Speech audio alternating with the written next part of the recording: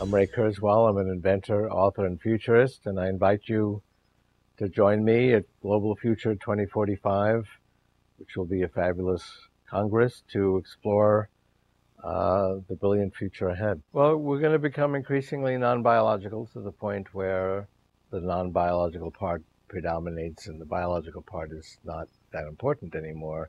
In fact, the non biological part, the machine part, will be so powerful it can completely model and understand the biological part. So even if that biological part went away, it wouldn't make any difference because the, the non biological part already understood it completely. We'll also have non biological bodies.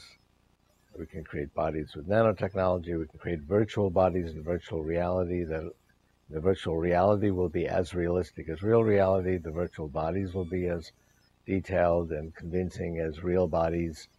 Um, we'll have different we'll have different ways we can create bodies. We do need a body. Our intelligence is directed towards a body, but it doesn't have to be this frail biological body that's subject to all kinds of failure modes.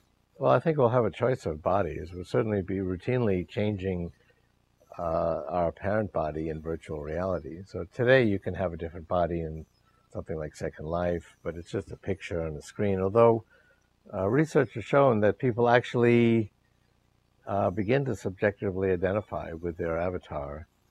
Uh, but in the future, it's not going to be a little picture in a virtual environment you're looking at. It'll feel like this is your body and you're in that environment, and that your body is is some is is a is the virtual body, and it can be as realistic as real reality and the environment can be as realistic as real reality. And so we'll, we'll be routinely able to change our bodies very quickly, as well as our environments, in virtual reality, but it will feel very real.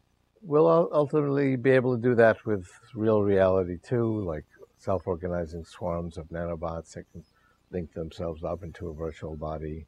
If we had radical life extension only, uh, we would get profoundly bored. We'd have a profound existential ennui, uh, running out of things to do and new ideas. Uh, but that's not what's going to happen. Uh, in addition to radical life extension, we're going to have radical life expansion. We're going to have millions of virtual environments to explore. We're going to ex- literally expand our brains. Right now, we only have 300 million pattern recognizers organized in a grand hierarchy that we create ourselves in our neocortex. But we can make that 300 billion or 300 trillion. We can expand it.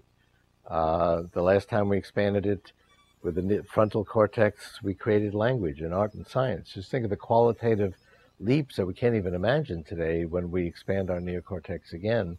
We'll be thinking grander, deeper, more hierarchical thoughts than ever before, uh, creating whole new institutions like art and science that, that we could not articulate uh, so we're not going to get bored. If if that weren't the case, then I think, you know, living for hundreds, thousands of years would would be a profound uh, philosophical uh, nightmare. But uh, instead, we're headed for radical life expansion.